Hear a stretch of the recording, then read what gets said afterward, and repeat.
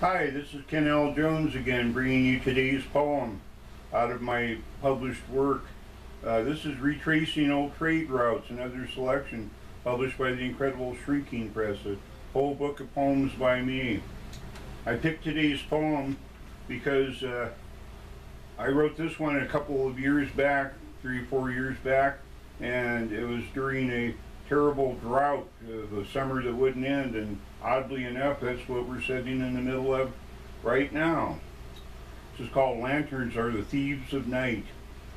Blood red nighttime stars bobbed for like apples by a backyard scarecrow, much too overdressed for this unseasonably warm October weather on a fall evening that is unworthy of its very name.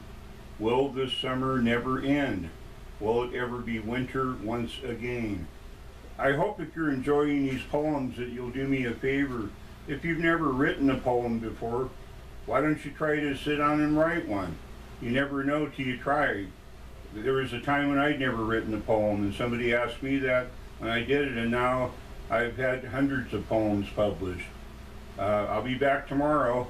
Have a good one. See you soon.